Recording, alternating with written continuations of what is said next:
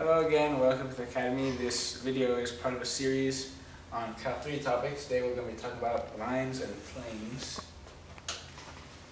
So the first thing we're going to talk about is lines. How we describe a line in three dimensions. Usually in two dimensions, a line is described by something like y equals ax plus b, or similar equation. But in three dimensions, we have to have a little more information, because we have x, y, and z axes. So the first way we're going to describe a line, it'll start with our initial point, call it x naught, y naught, z naught. And to describe this line, we're going to determine which direction it goes from this point. And so we have a vector v pointing in the direction of this line. So the line will look something like this in the direction of the vector.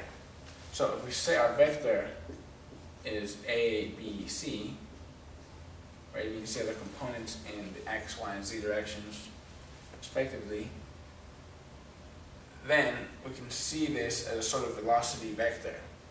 That's how fast a particle moving on this line goes.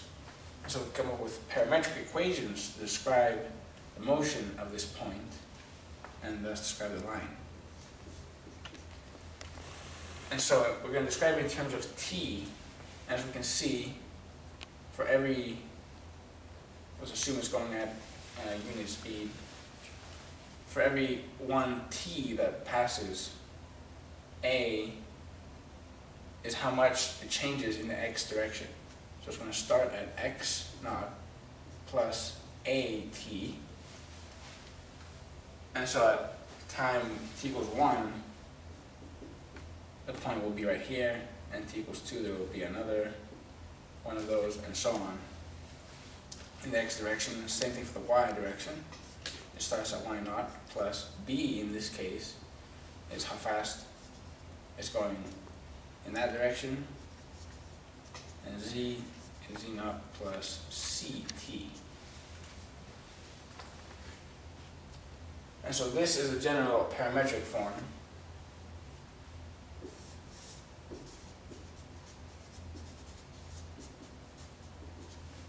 of a line in three-dimensional space. So maybe we should do an example here.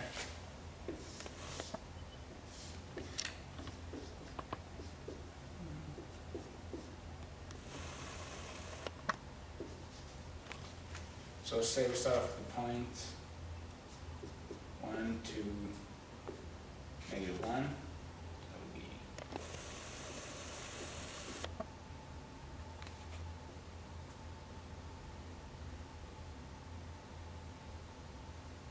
maybe around here. And if we have our direction vector, so it's 2, 3, 5. So it would look something like this. It would be 2 in the x direction, 3 in the y, and 5 like that. So the line would be looking like this. You can sort of visualize that. And the equation would be x equals 1 plus 2t, y equals 2 plus 3t, and z equals negative 1 plus 5t. And that would be the set of parametric equations. But there's another way to express lines, and that is if you solve for t in these equations, you'll see that, let's see, in this one we say t equals, we bring the 1 over, x minus 1 over 2. In this case, t equals 1 minus 2 over 3. And this one t equals z plus one over five. And since of course t equals itself, we can set all of these equal to each other to get what's called a symmetric form.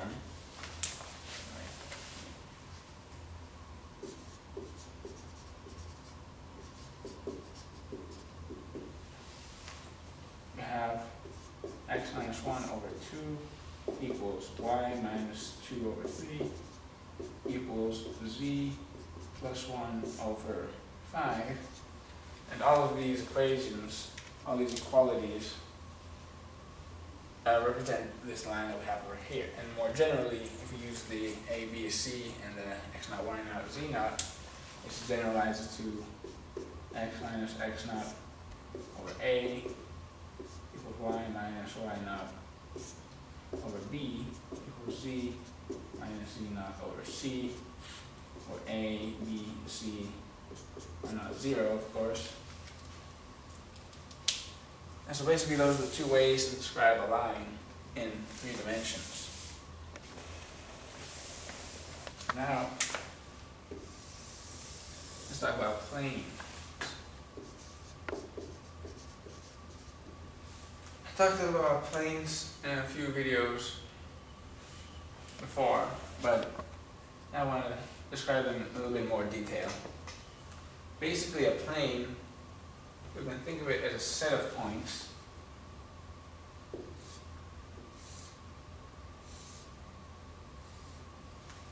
and every point on this plane has the same normal vector, which is a vector perpendicular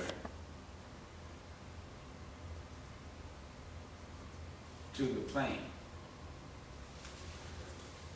I'll call that vector n. Normal, which is also perpendicular. So it's at a right angle. So basically, since every point on the plane has the same normal vector, that is, there's a vector that is perpendicular to the, the whole plane, then we can describe a plane based on a point and the normal vector. So if we have our initial point, x naught, y naught, z naught, and we have the normal vector, we know what it is, then we can find an equation for the whole plane. And basically, this is what it is. So given this point,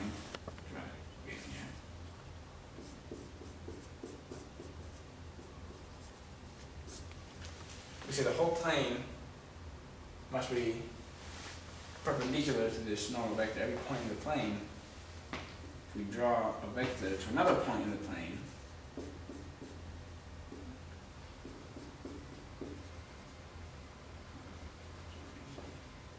x, y, z, assume this is the plane of the board, so this will be the normal vector. So every vector from here to here must be perpendicular to our normal vector that we already know what it is. So n is vector a, b, c. Then the vector p, p1 is perpendicular to n as long as p1 is a point on the plane. And so earlier when we were talking about vectors, we said that if two vectors are perpendicular, then the dot product is zero. So that means that P, P1, dot product with N equals zero.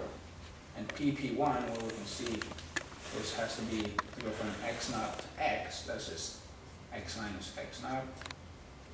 Same thing from Y to Y naught will be Y minus Y naught, and then Z minus Z naught.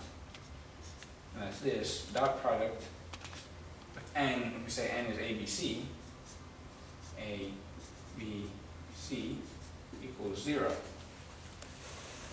And like I said earlier, with dot product, this just means that we multiply this times this. So A, x minus x naught plus B, y minus y naught plus C, z minus z naught equals zero. And this is the equation of the plane. if we know an initial point t naught and the normal vector, we give you this. So we can look at an example. Let's say our initial point is one, seven, 3 and whatever is normal to the direction 4, 8, 1, 2. And so the equation of this plane would be 4 x minus 1 plus negative 1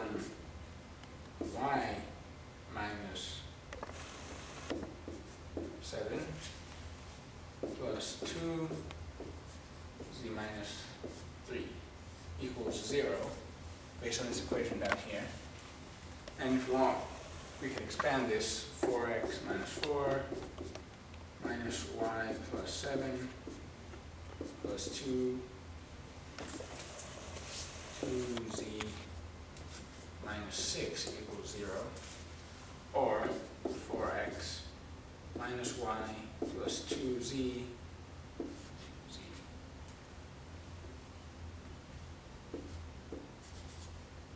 minus three equals zero, or if you want four x minus y plus two z equals three. So just like with a line in two dimensions, you have the general form ax plus by equals c. For a plane, in three dimensions, you have ax plus by plus cz equals d as a general form as well. This is another form. And a, b, and c are also a, b, and c from the normal vector. And d sort of corresponds to a displacement from the origin. So now, let's do one example where we try to find a plane given three points. As we know, three points determine a plane if they're not collinear. So say we have the points P1, 2, 3, negative 1, P2 is 1, negative 3, 7, 3 is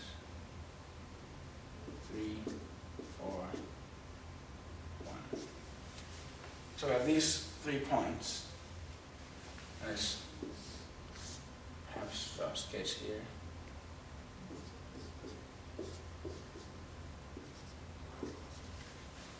So P1 would be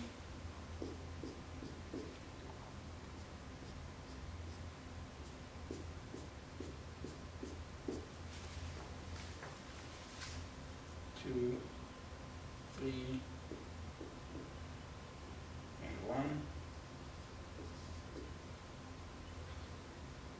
2 is 1, negative 3.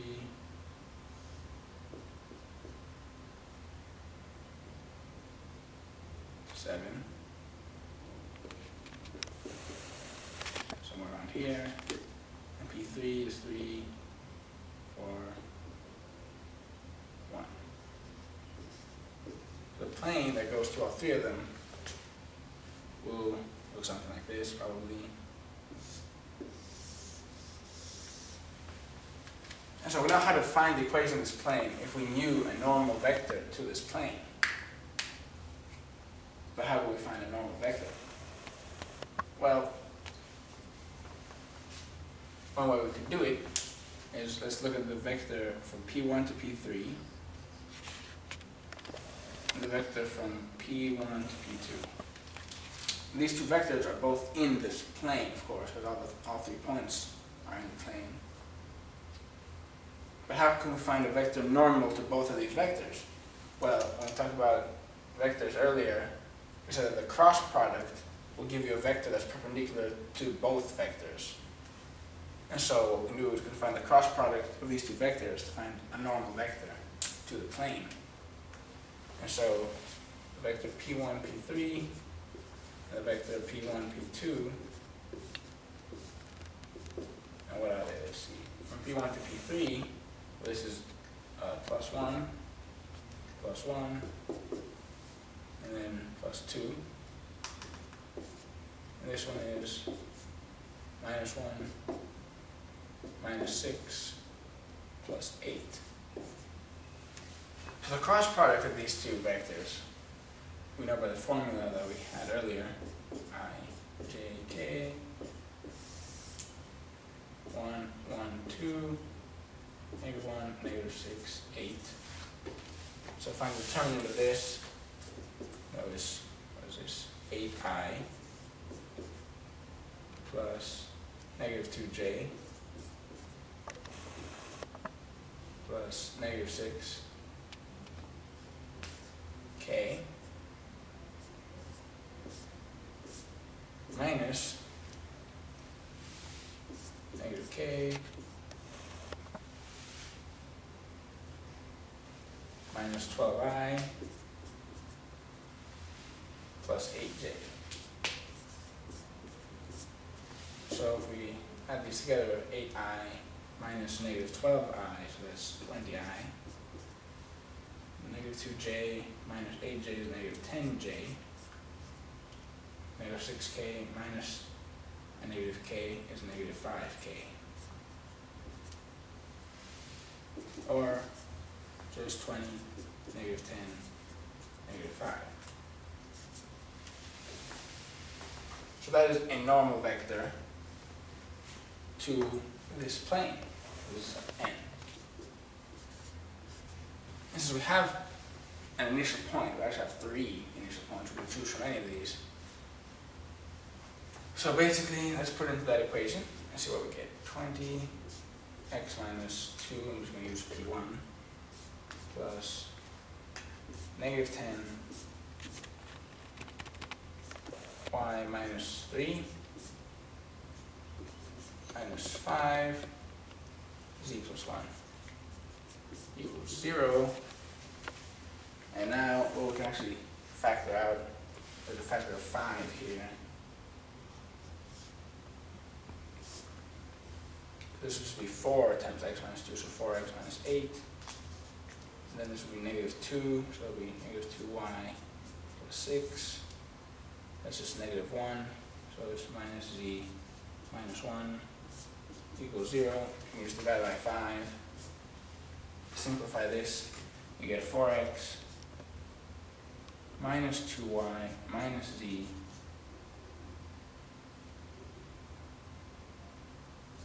this minus 3 equals 0, or 4x minus 2y minus z equals 3. And of course, this equation is also perfectly acceptable. And as I find the equation of a plane given three points. So that's about it for lines and planes, and I'll see you in the next video.